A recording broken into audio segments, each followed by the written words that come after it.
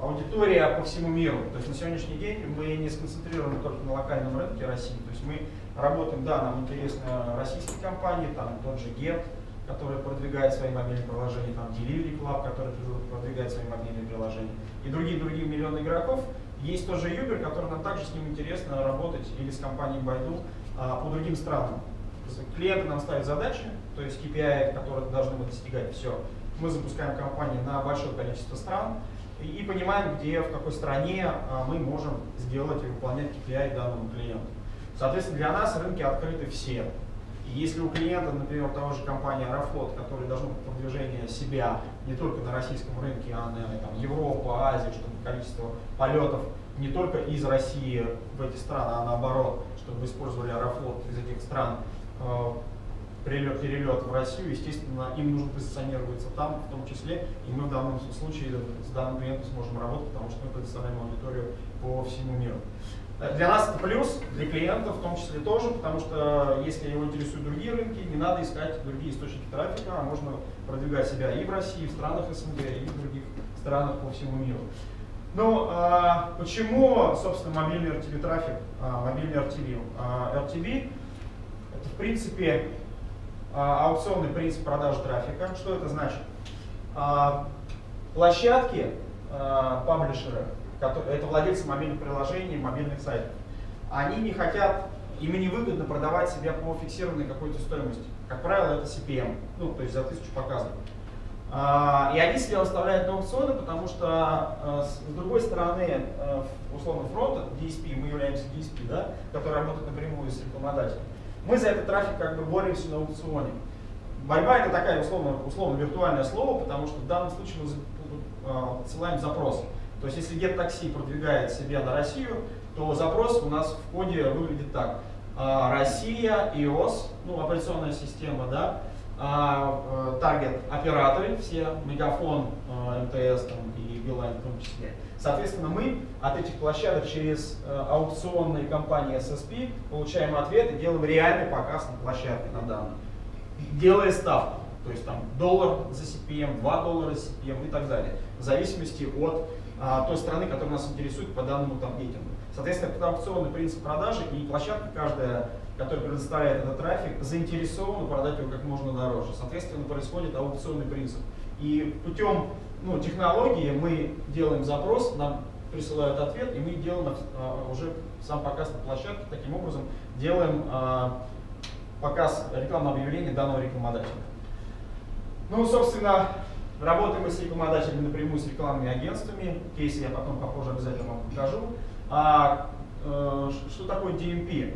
DMP это Data Management Platform. А, что это значит? Это компании, которые предоставляют данные дополнительные, которые обогащают трафик. Что значит обогащение трафика, если там вдруг с этим не знакомы? Есть MyTarget, у которой есть социальные сети. А, каждый из вас все эти данные туда, там, в Одноклассниках, там, в том же Фейсбуке или там, в ВКонтакте, а, у вас есть там свой профиль, возраст, пол, интересы, музыка, фильмы. MyTarget все эти данные знает. Соответственно, ему легко, а, когда рекламодатель приходит и говорит, слушайте, вы знаете, нас интересуют мужчины 20 лет, кто интересуется автомобилями, там еще что-то, да, соответственно, и пол возраста. Соответственно, MyTarget все эти данные может собрать и показать только целевой аудитории данную рекламу от, от, там, авто, автопроизводителя, либо кто-то интересуется, там, не знаю, едой, либо кто-то интересуется там еще чем-то. Соответственно, компании, с которыми мы интегрированы и продолжаем интеграцию, это те как раз компании, которые нам помогают этот трафик обогащать. Они нам передают полвозраст, они нам передают интересы. Таким образом, таргетирование получается наиболее четкое, наиболее узкое, да, а не так, что мы бьем а, рекламой а, там, из пушек по воробьям. Соответственно, мы тоже к этому стремимся с Яндексом, с Гуглом, с Фейсбуком и с MyTarget конкурировать нужно только в том случае можно, когда у тебя есть данные, когда ты можешь таргетироваться, и, естественно, эффект рекламодателя от этого и зависит. Да, да, да уж. А насколько качественные данные в этих DMP, то есть э, там, ну, насколько они корректно выдают? Есть ну, смотрите, а мы тоже не интегрируемся с закрытыми ящиками, да, соответственно, мы собираем, как правило, от рекламных агентств приходит детализированный запрос. То есть нас интересует там по продукту Валио мамочки от такого-то возраста с детьми, а, там, которые посещают такие-то площадки или интересуются вот этим. Соответственно, эти все запросы мы накапливаем и передаем этим компаниям, этим компаниям DMP, чтобы они могли, по крайней мере, понять, дадут они срезы по данному запросу или не дадут. То есть они, и, естественно, мы понимаем, если они этого не, не смогут нам а, эти срезы а, сделать для того, чтобы обогатить трафик, то ну, эффекта от этого не будет никакого. Потому что агентство, естественно, а, сейчас любая медийка, она уже с конечным а, действием с каким-то. Это не, не просто покупка CPM. То есть, например, автомобильщики, с которыми сейчас работаем, автобренды, там Nissan, Ford, вот, а, у них есть, например, качественный визит. То есть не клик, а качественный визит, который что-то... Звонок, дойти до конфигуратора. Конфигуратор это что? Это когда ты хочешь... Да, да, то есть на мобильной версии. Соответственно, есть уже э, стоимость этого конфигуратора, уже есть стоимость. Соответственно, от нас требует этот KPI, там не выше 150 рублей. Там, или э, там, любое другое действие, которое там, клиент от, от этого ожидает. Поэтому сейчас медик простой, без какого-либо замера эффективности нет. То есть никто же не считает, ой, давайте CTR, чтобы был не ниже 2%, или там стоимость клика. Нет. Любая медийка, естественно, сейчас с конечным действием. И если платформа, а мы это умеем, может так работать, то, конечно, она такому клиенту, с таким клиентом может работать. Вот. Ну, это как бы так, рукой написана условно вся экосистема, как она работает. Соответственно, самое важное, что мы не как мой таргет там предоставляет какую-то одну-две площадки. У нас сотни тысяч площадок, к которым мы имеем доступ. Наша задача, что, чтобы на каждой площадке увидеть эффективность на, и сделать оптимизацию и оставить только те площадки, на которых происходит клик и какое-либо действие для клиента, который нам поставил задачу. Все, мы отфильтровываем, а, создаем а, черные и белые списки, и клиент после определенного там, промежутка, там, день, два, три размещения, получает потом ту стоимость, которую ему нужно, на тех площадках, на которых происходит конверсия. Таким образом мы отделяем работающие площадки от неработающих. Вот и все. Почему мобильный RTV? Ну, потому что рынок растет очень сильно особенно на Западе, мы, конечно, от них отстаем, как обычно, на 3-4 года, как минимум, потому что рынок глобальный, мировой, а, в, в, в клиентах, в деньгах уже далеко убежал вперед. И если, насколько я помню, у Facebook мобильная выручка уже 85% составляет. То есть клиентов больше всего размещается и тратит денег на мобильную аудиторию, чем на веб. Раньше это был там 50-50, а теперь уже все. Mobile давно уже убежал. Соответственно, здесь просто вам для понимания, почему мы этим занимаемся, почему мы верим в этот рынок, потому что а, мобильный programmatic RTB, он очень сильно растет. И здесь вот две цифры, 15 год, если видите все в миллиардах, а если помните, наш веб-рынок интернет-рекламы весь, по-моему, в районе 2 миллиардов, да, то здесь уже программатик в единицах миллиардах и прогнозы, что э, в 2020 в 2019 году он вырастет как минимум там, в два раза, в три раза. То есть мы, мы тоже не уверены автоматизированная закупка будет расти однозначно. То есть площадкам будет очень сложно себя самим продавать. Им придется идти на автоматизацию, выставлять это на аукцион для того, чтобы а, автоматизированно были закупки рекламы и на их площадках в том числе. Но в России тоже все не так плохо. Конечно, цифры поскромнее, но объем рынка все-таки растет. Вот в, за прошлый год у нас получается 436 миллионов долларов, то есть растет он э, достаточно хорошо. К 2019 году, по мнению eMarketer, э, это аналитическая компания, как видите, как минимум прирост получается там на минимум на 30%. Это тоже оптимистично. И я думаю, что это, это то направление на сегодняшний день, которое могу сказать, которое будет в течение пяти будущих семи лет расти и расти и расти. То есть это направление будет, и все в итоге у нас с вами будет в мобильном. Мы еще говорили об этом 5-6 лет назад. А, мобильная реклама в России а, для рекламодателей, ну то есть что, становится очевидным, что mobile занимает приоритетное либо одно из главных направлений рекламодателей. То есть у нас запросов, а, я скажу, что за 2-3 года поменялось все. Агентства должны теперь закупать мобильную рекламу, мобильную аудиторию не менее 20% для каждого рекламодателя. То есть mobile сейчас становится частью вот этого микса телек, интернет, если у кого-то еще есть наружка СМИ, печать, и mobile в том числе, он теперь в миксе. Раньше такого не было. Раньше это были какие-то урезки, остаточный принцип бюджетов, там есть 100-200 тысяч. Нет, все, теперь это полностью, многие агентства даже в конце года постоянно присылают нам э, запросы для того, чтобы на следующий год сделать стратегию с учетом мобайла. И это уже по многим агентствам, потому что сейчас все сетевые агентства, они мировые, мобильное направление там, у того же Vivac, там, если вы знаете, знакомы с агентством там, AdWatch, у них все приходит из американских либо лондонских штаб-квартир о том, что каждый клиент, который работает по всему миру, долю в России по мобайлу тоже имеем не 1-2%, а уже десятки. Это как для нас тоже внушает доверие, то, что с этим нужно работать.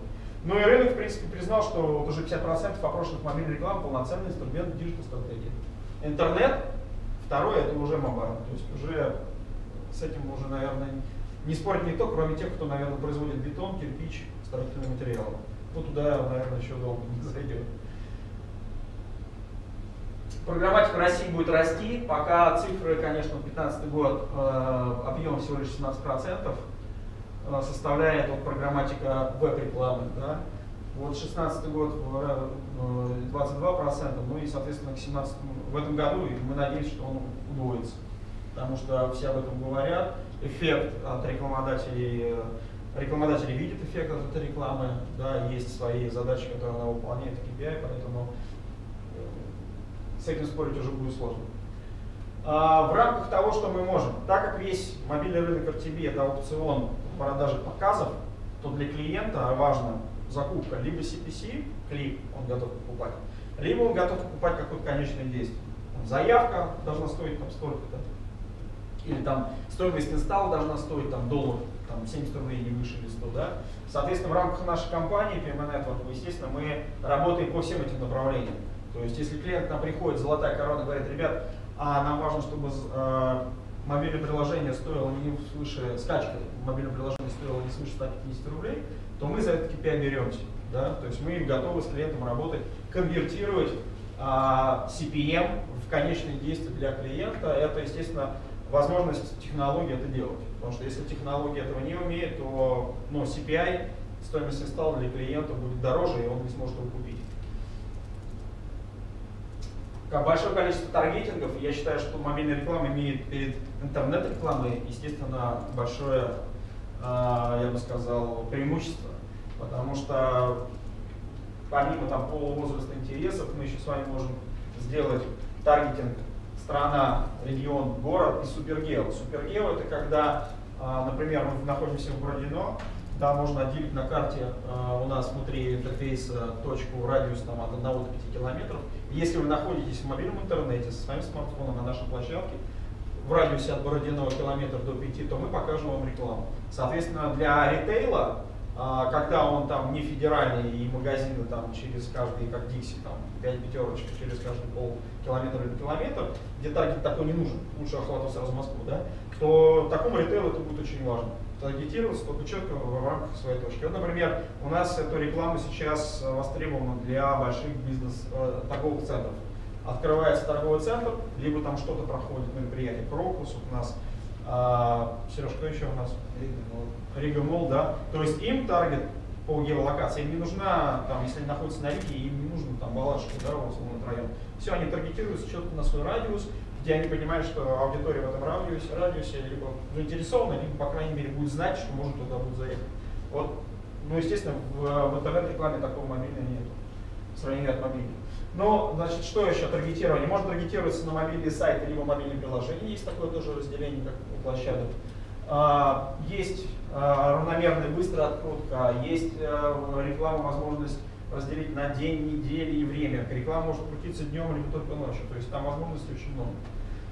Ну и, соответственно, тип устройства, бренд, модель, операционная система. То есть все, что связано с любым смартфоном. Да, есть Samsung там 7 плюс, там 6, есть iPhone 7, 7, 6, 5. Все это возможность а, наша платформа имеет. То есть если приложение а, работает только от 10 версии iOS, то мы не будем показывать ниже. Но нет смысла, потому что приложение это не работает на 8-9 версии. Да? То есть таргетингов достаточно очень много, и они какому-то клиенту они все равно будут нужны. Ну вот, собственно, как работает технология настройки радиуса SuperGeo. То есть а, внутри нашего интерфейса можно задать любой радиус. А, единственный один только момент, чем меньше радиус, меньше охват аудитории. Да, то есть мы всегда советуем не делать 100 метров, но нет смысла, потому что ну, а, охватить двух-трех коллег со смартфоном, но это не то, на что нужно, по крайней мере, транслировать свое сообщение, поэтому мы всегда советуем это делать от километра до 5, потому что люди все время перемещаются. И важно донести, потому что сегодня он здесь, а завтра может оказаться в другой точке, но через 2-3 дня он может оказаться опять здесь. Да? И тогда уже воспользоваться там, либо услугой, либо зайти в магазин, либо скачать приложение понять, что, что предоставлял данный клиент. Так что Супергео, конечно, это очень полезная для ритейла услуга для того, чтобы четко правильно таргетироваться по месту. Какие форматы есть в мобильной рекламе? А, стандартные баннеры, а, есть маленькие 320-50, это самый древний, я бы сказал, такой умирающий постепенно формат. Он уже стал дешевым, с него мобильная реклама начиналась, потому что на смартфонах не всегда. Была еще Nokia E72 с половиночкой, да, и, соответственно, там начинались текстовые объявления, как раз вот формат 320-50, а потом появлялись гифовые картинки. Потом появились 320-50, уже половина, фуллскрины, а, планшетные 17, 728 на 90, и, соответственно, нативная реклама, а, мы, у нас а, направление именно начиналось с нативного, потому что когда ты работаешь по перформанс клиенту, да, и известно, что MyTarget именно конвертит клиенту там, приложение именно благодаря нативному формату, мы знали, что для клиента э, сегмента перформанс это самый рабочий инструмент. И, соответственно, нативный формат мы имеем преимущество по нашим площадкам этого формата, потому что он рабочий. А, ну, собственно, Media, а, здесь он показан, потом будет у нас а, кейс-пример. Это когда внутри этого Media формата очень много интерактивности. Можно закачать а, трейлер, прямо внутри этого формата, он, он полноэкранный. А, можно сделать фотографию, можно заявку оставить. Вот, по фильмам это очень важно, когда вы, например, Э, можете посмотреть трейлер, есть какая-то внутри игра еще, есть картинки, описывающие там, кто в главных ролях, там, и так далее, и так далее. Если интересно будет, я потом на смартфоне могу на своем телефоне показать. Ну и видеореклама, самый востребованный формат на сегодняшний день. Э, видео, оно в интернете, естественно, очень сильно популярно. И эволюция у клиентов произошла правильно, я считаю. То есть для них видео понятно. Так, видео на телеке, видео в компьютере, о, видео и в смартфоне. То есть для них это проще а, получилось осознать, что это рабочий инструмент, и он работает. Соответственно, видео мы также в нашей сети предоставляем для клиентов, которые э, важно использовать этот формат для продвижения своих продуктов, товаров. Ну и, собственно, подводя итоги, что подо что работает. А, если компания имиджевая, то здесь лучше мы для клиентов используем фуллскрины, большие форматы, видео, нативное видео и rich media где есть интерактивность. Ну а под CPA какие-либо перформанс-действия, то это, конечно, фуллскрины, нативный формат, видео в том числе и нативное видео, потому что у видео наиболее сильная вовлеченность. То есть если посмотреть, ну не знаю, наверняка по Facebook смотрите, когда просто рекламные сообщения в виде там нативного квадратика, да, то это одно. А когда происходит видео, оно еще эффектное, еще в HD, то машинально все равно останавливаешь, ну хотя бы посмотреть, особенно если там эта игра, там эти действия, мы как бы все увлечены там какими-то играми, то как минимум а, ты заостряешь внимание, и у него вовлеченность очень больше. Особенно вот в игровиках по играм вовлеченность выше в 5 раз по сравнению со стандартной. Так что видео, я думаю, что это прям тренд этого года, следующего в том числе. Пока еще такой бездомный. А, в нашей сети больше всего площадок а, это мобильные приложения, 85,7%. И, собственно, если посмотреть, то, например, средний просмотр чего-либо а, в 2016 году, да, по сравнению с мобильными сайтами, больше всего люди находятся в мобильных приложениях. Но очевидно, потому что ты закачал приложение, оно тебе нравится, ты в него заходишь, смотришь. Для того, чтобы зайти на мобильную версию чего-либо, ты должен зайти там в Яндекс, Google, чтобы его найти. Либо у тебя должны сохраняться браузерные странички для того, чтобы опять посетить это, эту мобильную версию сайта. Соответственно, в приложениях люди больше находятся. Я например, сам по себе, у меня есть приложение, служу в которых я постоянно захожу, смотрю цены, там еще что-то, да, то есть для меня это удобство. Вообще это как бы либо интернет-магазин кармане в смартфоне, да, либо это та площадка, которую ты постоянно используешь, она тебе интересна. Соответственно, для нас, как для площадки, которые предоставляют мобильную аудиторию, а, логично иметь а, площадок больше мобильных приложений, потому что люди в них заходят чаще. И, естественно, они более к ним а, доброжелательны, потому что тот контент, который установлен у тебя в твоем смартфоне, это тот контент, которому ты доверяешь. Ты, тебе никто его не навязывает. Ну вот из кейсов мы работаем уже по всем секторам. Я могу сказать, что все практически сектора уже зашли в мобильную рекламу. Пример э, фармы, э, рекламная кампания препарата Next, наверняка вы все его знаете. Соответственно, здесь э, у нас была целевая цель, ну цель, бонус рейт должен быть не менее 75%, процент отказов. То есть, когда люди заходят на мобильную версию и интересуются этим препаратом, то есть таргетирование происходило наиболее четким. То есть все, что свыше 70%, 70% значит трафик нерелевантный, то есть не целевой. И в данном случае агентство нам выставляло э, данные. По факту там у нас получилось, насколько я помню, где-то порядка 52% э, бонуса. Ну и видите, CTR 4% э, в вебе такое чудо, да, такие CTR. Но вот я могу сказать, что так как площадок 85% в нашей сети, то приложение всегда в одном экране. И это не портянка какая-нибудь там мобильной версии, да, и когда все в одном экране, соответственно, объявление показывается что сейчас этого CTR выше. Некоторые приложения есть, где CTR доходит до, до 5, до 7, до 9 процентов. А, недавний фильм «Пассажиры». А, здесь мы использовали именно формат видеорекламы, это был трейлер 20 секунд. А, здесь у нас а, мерилась компания по, первое, по досмотрам по количеству отказов, кто на какой секунде отваливался. Да? То есть в данном случае KPI был по досмотрам, а, насколько я помню, мы выполнили его самый максимальный процент аудитории, которые бы досматривали данный видеоролик, был 72%. То есть не 20, 10 или 5, да, а именно 72% хороший показатель. Вообще киношники все, Sony Pictures, Center Partnership, а, они уже все используют видео, наверняка в метро ездите, там очень много на этой площадке тоже видеороликов, ну то есть это тренд и прокачивать это прекрасно понимаем. А, тот формат Rich Media, о котором я говорил, то есть здесь уже наглядные картинки, сейчас у нас идет компания, смурфики, соответственно в этом фильме можно посмотреть первое, а, ссылка на сам фильм, потом есть игра пятнашки для того, чтобы собрать эту вовлеченность, а, есть сам ролик, трейлер, да, и есть описание самого фильма, то есть как Понимаете, здесь как бы в этом формате Media он чисто брендовый, да, потому что есть интерактивность, внутри вовлеченность. А конечных действий ожидать очень сложно. То есть если бы нам сказали, что, ребят, давайте билеты продавать, то, очевидно, мы бы использовали нативный формат, потому что чтобы люди заходили и делали что-то дальше. Вот.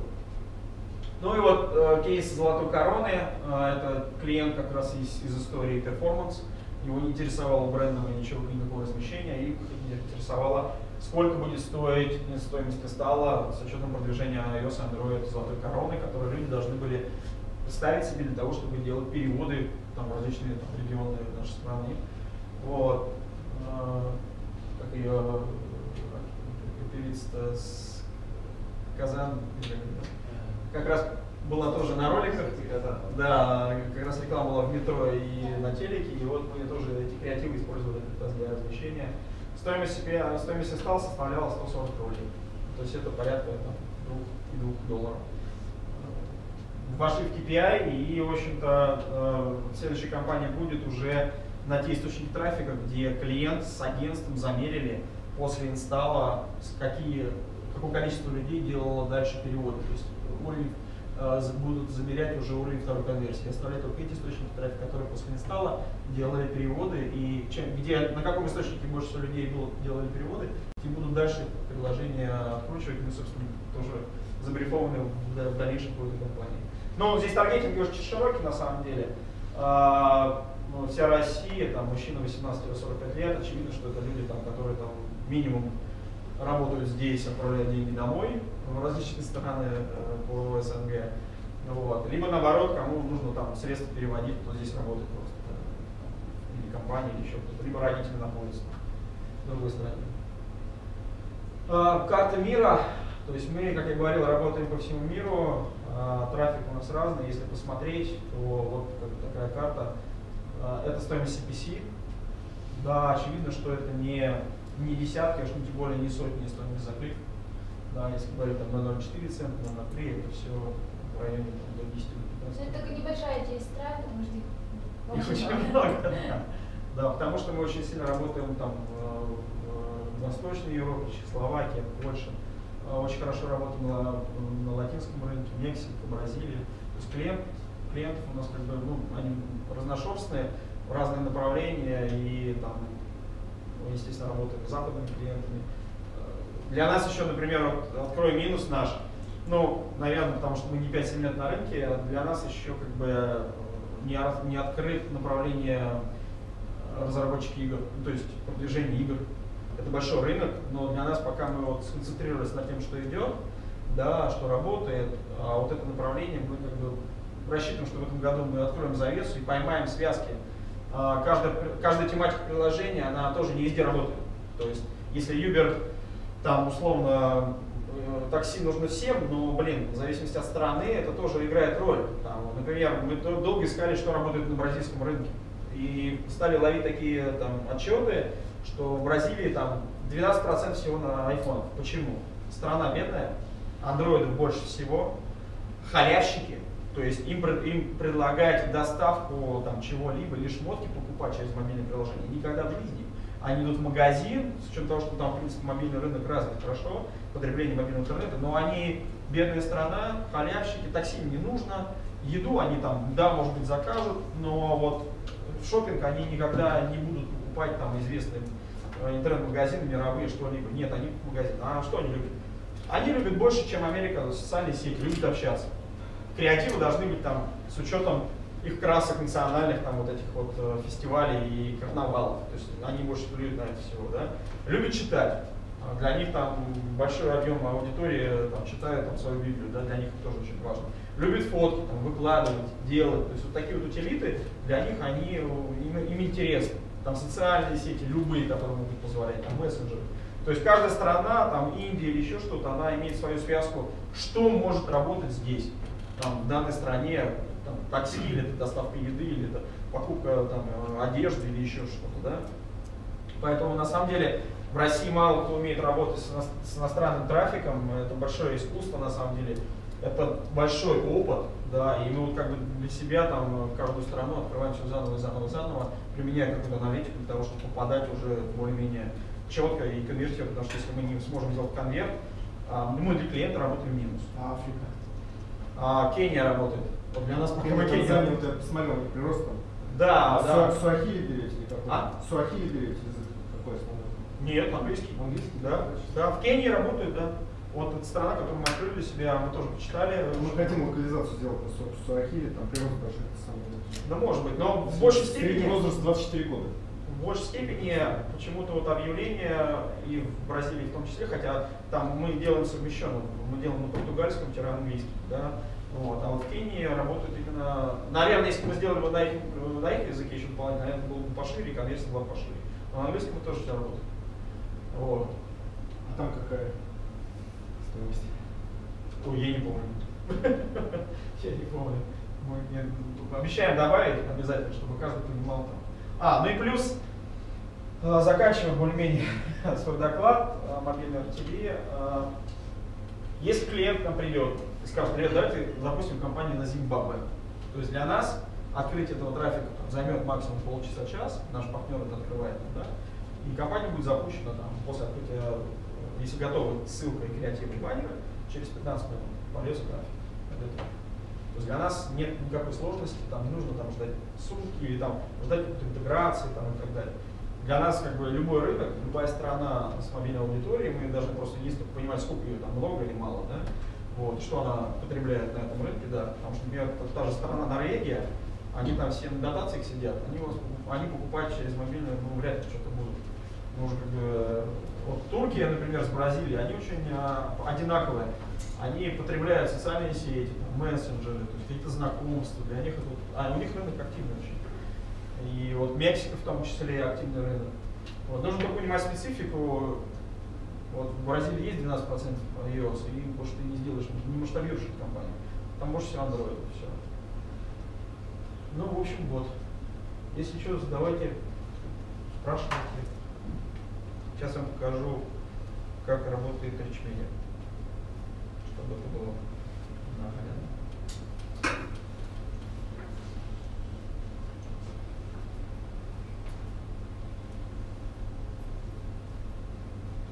Так, я сделаю. Сейчас не загрузится.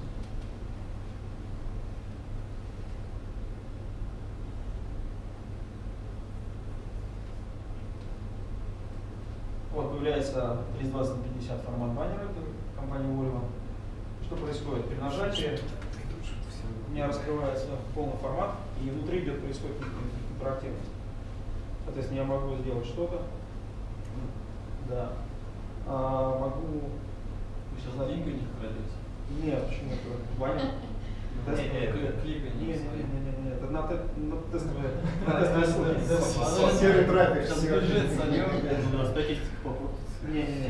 А люди работают, здорово. Я вам показываю. Как там разворачивается. попёрло.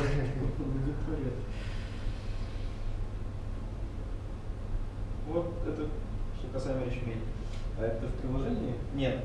Ну это, с- это формат. Пла- пла- Формат показывается в приложении. Словно сейчас, вот если я сейчас, смотри, вот за- как бы загружу э,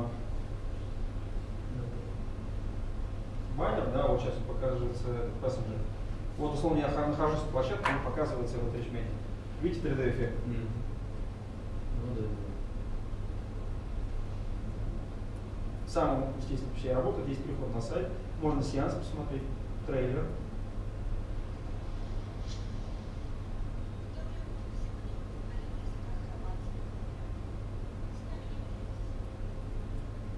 Посмотрим там в фильме что-то, да, подробнее. там, да. А, например, Куритейл, причинение сейчас покажу.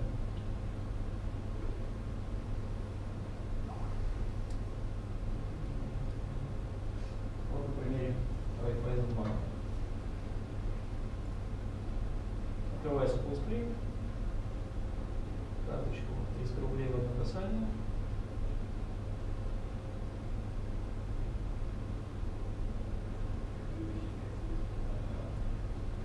И, соответственно, там могу, например, найти ближайшее отделение. Где, могу ли. А есть какие-то нормативные значения по весу видео, флешки там вот это всё? Ну, по видео, да. Потому что, ну, как понятно, да, чем не знаю, лучше, здорово, там можно. Но телефоны и связь не всегда э, имеют свойство быстрого интернета. Есть какое-то нормативное значение там? Там, мне нужно, да, перехожу. Ага. Там, на самом деле, все делается в рамках платформы, которая предоставляет эту интерактивность. Э, Конкретно вот то, что тебе показывает, эта платформа Selfie, ну, она не единственная, но не то, что... И все делается внутри нее, и, соответственно, а, ну, там, там все сделано оптимальным образом. То есть, э, грубо говоря, мы не делаем и не делается, в принципе, на рынке продакшн с нуля тех или иных кре- креативов. Он делается в рамках уже существующих э, платформ, экосистем. Ну, Selfie это один из примеров. Вот, поэтому норматив, он э, есть, но опять же, там не крутит, уже сейчас HTML5, поэтому дело он сам достаточно ну, малоемкий. Вот. э, обычно ну, желательно укладываться там уже 100, ну, 100-150 килобайт. Ну, мы когда в общем делаем креатив, мы уточняем а, по весу техни- технических а, требований по баннеру, поэтому а, мы не будем а, показывать большой вес видео для того, чтобы он не загружался не пользователю, то есть это нелогично. Так же, как нелогично показывать а, рекламу игры, которая весит свыше 50 гигабайт, да, потому что она загрузится свыше 50 только под Wi-Fi. Соответственно, люди, которые находятся в 3G, 4G, они не загрузятся. Соответственно, такое таргетирование таких приложений происходит только через Wi-Fi, потому что возможно таргетировать только через Wi-Fi точку. Вот. А в лучшем случае пользователь попробовал, да, осталась у него сохранилась ссылка в э, сторе, где он потом пришел, где есть Wi-Fi и начал скачивать. Таких случаев просто не так много пользователей.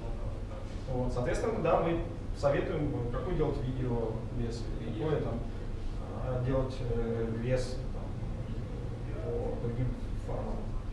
Вот. Но сейчас, насколько я понимаю, мы сейчас, сейчас не 11, не 12 год, где там ну, выступая на конференции в то время, мы говорили, что вот драйвер, мобильная реклама, это кто это. Скорость, интернет и так далее. Сейчас уже видео грузится везде всегда. Сейчас операторы, по-моему, как раз жалуются на что трафик мобильный очень большой. Через некоторое время э, столкнутся с проблемой, что Но это их Too much, техническое задание. Они сейчас наоборот э, там в новостях э, хотят без лимита вообще Но они отказаться. отказываются, отказались. Ну, то есть они как раз в сторону снижения трафика идут. И может быть такие большие видео, когда будет не анлим, не анлим интернет. На самом деле видео, если мы говорим конкретно о видео формате, то там вообще все очень просто, в отличие от ну, полномасштабных форматов. Правила ну, видео оно обычно направлено на развитие бренда в первую очередь. И узнаваемость бренда, вот говорит, последнее исследование происходит уже до пятой секунды, грубо говоря. Человек посмотрел, если за 5 секунд э, ну, бренд какой-то промелькнул там, да, какое-то сообщение первое, то все, что происходит за пределами этого, уже не важно. Соответственно, мы можем, ну, опять же, мы рекомендуем всем всегда, во-первых, уменьшать там видео для мобильных форматов до 10 секунд, но в идеале делать его уже сразу под мобильный формат, чтобы оно было там максимум 5-6 секунд. Говорят, там очень хорошие примеры, если, мы быть, сталкивались у Липтона, например, на Ютубе, и у... Ну, опять же, почему 5 секунд, да? Это почему, например, у Гугла вот, на Ютубе там 5 секунд бесплатно, как бы, можно посмотреть для рекламодателя. Собственно, в эти 5 секунд они умудряются, например, свое сообщение уже вложить. А 5-секундное видео, оно не больше там 70 до сотни килобайт вполне себе. И это на в масштабе, в масштабе, так сказать, операторского трафика, там гигабайтов, которые, в принципе, пока у нас еще есть, как у пользователей мобильного интернета, оно не влечет за собой тяжелой нагрузки. Ни на оператора, ни на твой собственный трафик, ни на, соответственно, а, возможность просмотра. А про спрашивал? Я. Посмотрела, один один цент. Как в Японии прям. Почему в Японии, кстати, такая небольшая доходность? В Китае. В Японии у вас то, что там что-то инициацию На самом деле в Японии очень дорогой трафик, но буквально у нас был на- пару дней назад был запрос по Японии, мы посмотрели, и там он ну, не шибко дороже стоит, чем, грубо говоря, в регионе вообще, или даже относительно наш.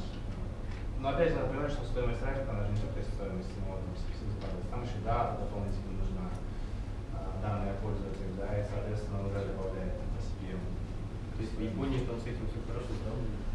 А, ну, наверное, вот, честно говоря, сказать, э, там вопрос был специфический, по дате не скажу, насколько хорошо или нехорошо. Это у нас есть партнеры, которые там глобально предоставляют данные, есть партнеры, там, которые локально в России работают, мои далее. Кстати, вот про Азию, про Японию, про Китай в частности, и Сингапур, а, для того, чтобы продвигать себя там а, бренду любому рекламодателю, там уже телек, интернета недостаточно, потому что телек с интернетом занимает 60% доли населения. То есть там уже как минимум 40% с- а, занимает mobile. То есть телек уже как минимум, даже вот, кстати, у нас дискуссия была в Фейсбуке, там у нас сообщество там всякие, да, по рынку. А, типа вообще нелогично Адидасу показывать рекламу на телеке, потому что его аудитория 18, там, 16 плюс 30, да, те люди, которые телек уже практически не смотрят, потому что они употребляют вот с планшетов, с смартфонов, да, то есть реклама Адидаса не должна вообще присутствовать на телеке, потому что его аудитория уже другая. А чем моложе аудитория, тем они все, они скоро камеры будут делать, чтобы показывать где дорога, иначе там есть смешное видео, когда девушка шла торговый комплекс зимой и упала в бассейн. Там уже делают, по-моему, камеру на бэкграунде, чтобы это было. Ну вот, я говорил еще как шутку, это года два назад, что пора уже это показывать путь. Не, по-моему, это сделано уже. Там печатаешь, на заднем фоне камера включается. Ну вот шутка оказалась, это неправда. Вот, поэтому вот в Азии, да, доля телека будет снижаться, и тут была статья, кстати, э, одного из клиентов, э, не напомнишь, Серег? Мы перепост еще делали, кто теле, а, из телека уходит. Телека Adidas уходит как раз. Да, вот э, как раз Adidas как раз из телека уходит. Ну, мировой имеется в виду. То есть они уже считают, что для них замеров на телеке мало, аудитория потерялась, она уже не на телеке, да. Все, то есть интернет, mobile, там, где все digital, все, где все измеримо, все понятно, четко таргетирование происходит, а не так. э, По привычке, по старинке все. Ну, я думаю, что там интернет уже догоняет телек у нас в России. Я думаю, что еще там год, два, три, и тогда уже доля телека будет падать. Вот, Поэтому они сейчас, если слышали, и собираются там всякие а, как их, национальная русская группа, объединяются, то есть таким образом, чтобы как-то шантажировать движение. В Азии локализация будет сложнее и дороже. То есть там есть специфика национальная. То есть использовать Да. местных персонажей. Да, да, да, да. И случае никаких там славянских.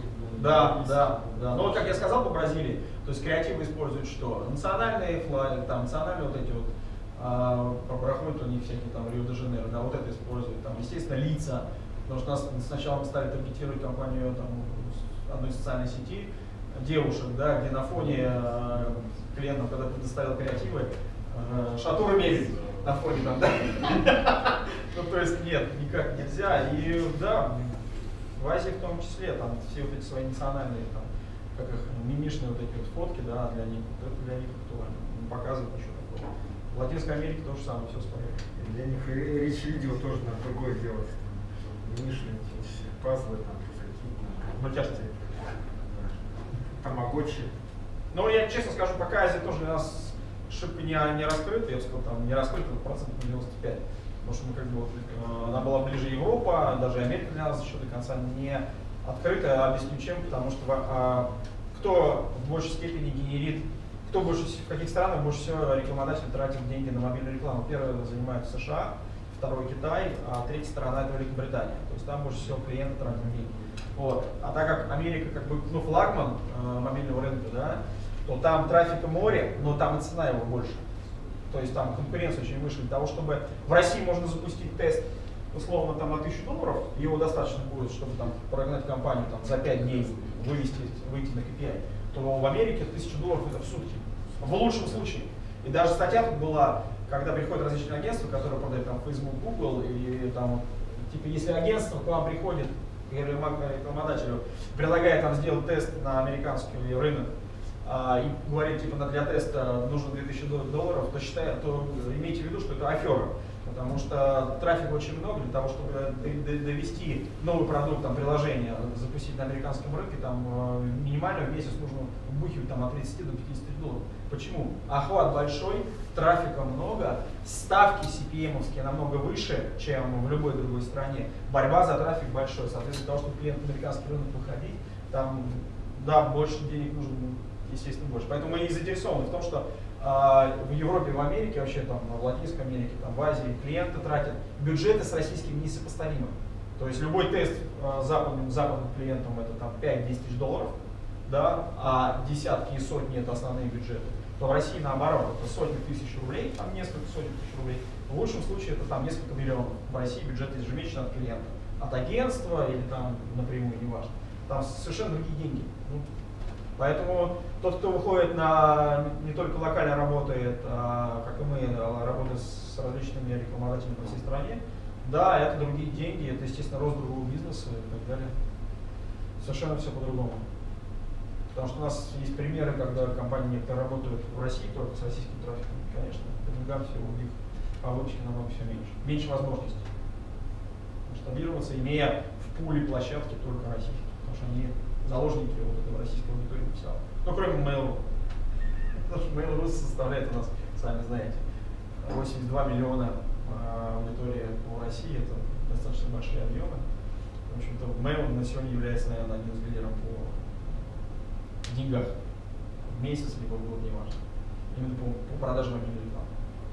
Но там, кстати, количество там клиентов не, там далеко не все российские. Там, по-моему, процентов у них 40, э, Mail говорил, там только китайских. Там, э, извините, Али, Алиэкспресс, когда выходил в России, там сколько они вбили денег. Потом есть и браузер, который тоже себя продвигал. Много. Вот. Если больше нет вопросов, то нет. Смотри, я поздно пришел, может, вы говорили, а, а вы видео тоже сами делаете, да? Нет, А, то это нужна готово. дизайн, студия, продакшн. Мы делаем все, включая Rich Media, все кроме видео, потому что видео это ну, дорогая вещь, нужно агентство иметь. Когда кли- клиенту агентству готовят стратегию, то они помимо видеороликов, которые делают для интернет-рекламы, ну и для телека, то они, естественно, делают и э, адаптируют э, интернет-ролик под мобильное устройство. На самом деле, тут я уже добавлю, что в общем, мы чаще всего, ну, пока, в случае, работаем с агентствами, чем напрямую, и но все равно есть свои как бы, подрядчики, которые могут подготовить, то есть мы можем под ключ все это сделать. Ну, просто, это нет необходимости, потому что у крупных брендов у них есть свои бренд-гайды, в которых они сами же контент делают. Вот. Но мы в том числе можем как бы, в ситуации помочь и более того, порекомендовать как лучше. Да, да. Все будет mobile. Такой скромный вывод из всего все B2C бизнесы, все будут. Ну, в общем-то, телевизор, по-моему, становится большим мобильником уже.